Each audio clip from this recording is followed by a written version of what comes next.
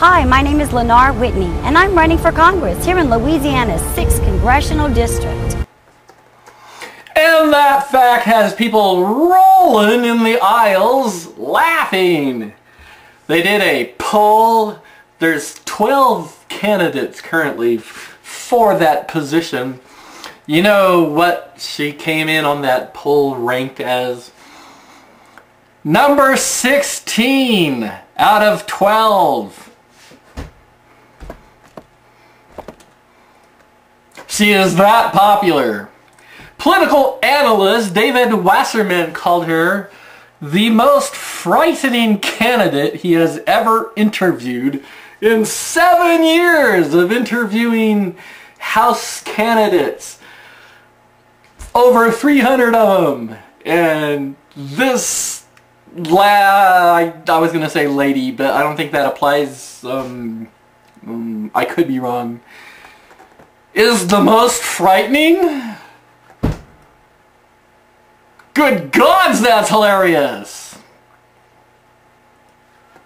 I'm a state representative from Houma, and many call me the most conservative member of the Louisiana legislature. Actually, they call her the most batshit crazy lunatic member. She just kind of translated that into conservative. She appears to think they're identical meaning. I'm a constitutionalist and I believe our natural rights to life, liberty, and happiness. That's right, she is a constitutionalist, even though she has no idea what the United States Constitution has to say about the powers uh, granted to the United States President, which she flat out insisted in her previous video that President Obama was not allowed to do what he is actually allowed to do and he she also demanded that President Obama do something that United States Constitution mandates that he not do but other than that by golly she's a constitutionalist. Come directly from God not from government. I believe in the Second Amendment and I'm a lifetime NRA member and I have my own concealed carry permit that's right, and by golly, if I lived in Louisiana, it wouldn't frighten the shit out of me at all, knowing that this person has a handgun walking around with it concealed. Wouldn't bother me a bit.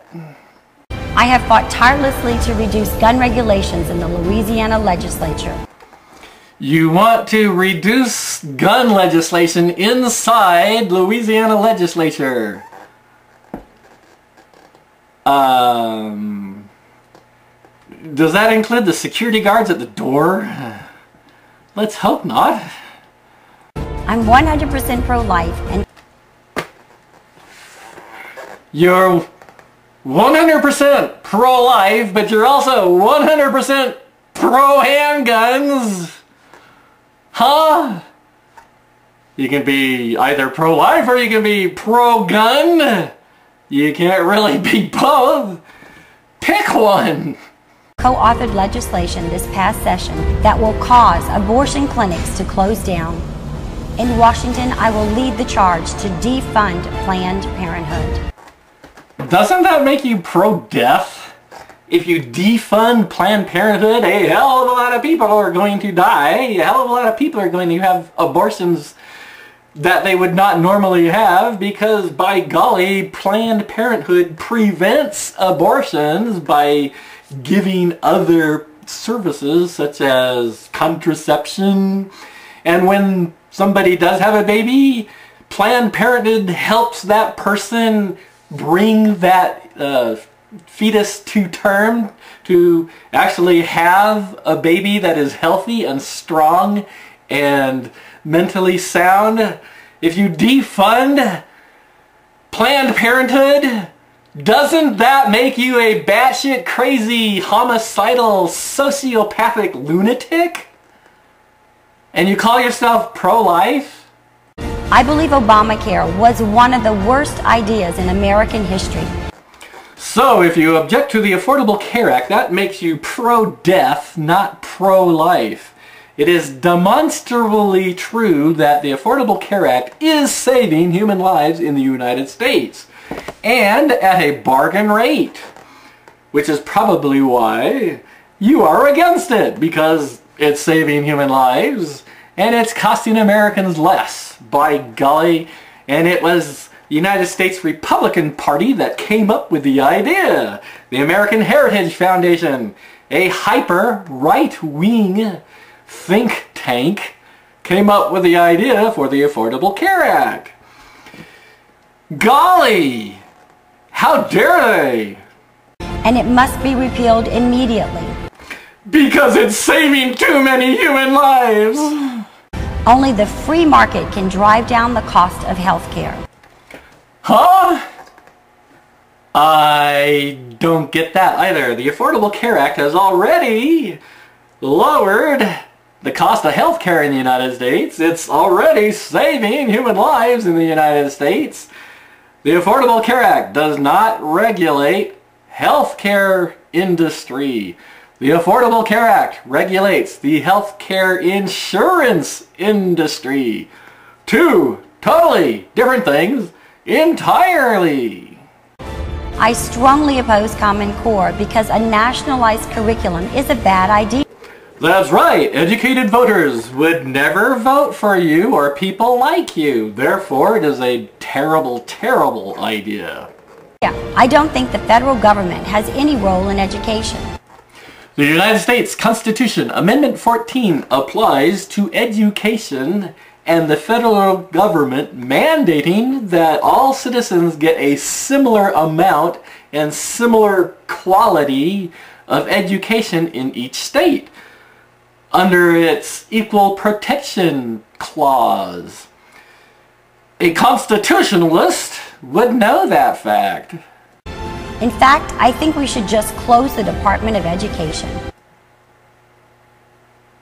And while we're at it, let's close the Department of Energy too. That's right, United States doesn't need any energy. Fuck energy. You know what's happening to Louisiana, the state that this woman has inflicted herself upon? A hell of a lot of it is going underwater. One minor cause, but it's still a fucking huge one. The sea level is rising due to the anomalous warming due to human causes.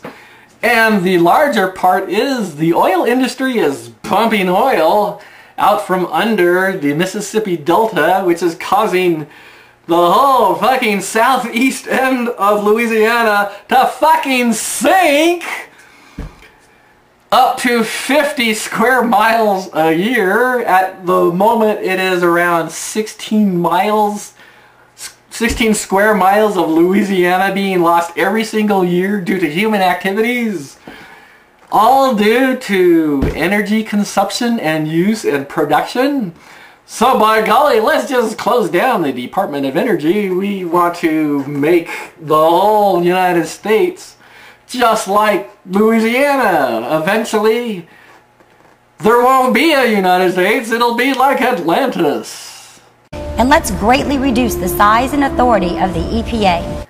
So we could all choke to death on our own shit. We should also abolish the IRS. And she calls herself conservative. The treacherous targeting of Tea Party groups is the last straw.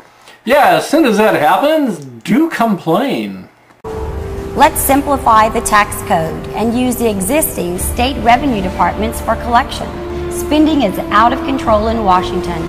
Actually, in the past four years, discretionary spending, which is a key indicator of how much the government is spending and on what, has sharply decreased the spending of the previous eight years before Obama administration started was wild and out of control. For the past four and five years, spending by the United States federal government is actually under very good control. I believe in Reagan's doctrine of peace through strength. Seriously? Ronald Reagan you know, out of the eight years that he was President of the United States, physicians think he was senile for at least five of those eight years. And you're holding up Ronald Reagan as a model of what you believe is an ideal president. or politician a senile, batshit, babbling idiot? Seriously? America must have a strong national defense. Crazy Lady actually came up with a good idea, which I agree 100%. We dismantle the current United States offensive military industrial complex and we build a national defense. It would cost a hell of a less lot of money than what is currently spent on national offense. Maybe if we converted to national defense, President Obama would stop bombing brown-skinned people with drones. That strikes fear into evildoers throughout the world. That's right. You know, I know um, several people internationally. I have friends. Um, Belgium. I know two people in Belgium. I know um, in Norway. I know a person who lives in Denmark. I know several people who live in Sweden. They are terrified of the United States military. You know the only other people besides good, decent, harmless people out there who are terrified of the United States military? United States citizens are generally fucking terrified of the United States military. Nobody else out there, no evildoers are frightened of the United States military. We must stand with Israel 100% in their war against Hamas. Oops! Here I thought you claimed to be pro-life. Not just in rhetoric, but as a strong ally. You mean the United States military should start bombing Palestinians, slaughtering little babies sleeping in their cribs. Well, they can't sleep because of all the fucking bombs raining down upon them pro-life? Seriously? Only by reducing the size and scope of government can we put America back on the path to freedom and prosperity.